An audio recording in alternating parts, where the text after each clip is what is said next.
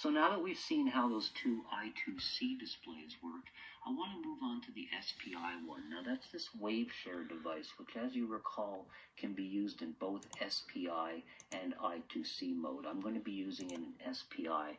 Now the Arduino Uno has an SPI bus, as does the Raspberry Pi and many other controllers.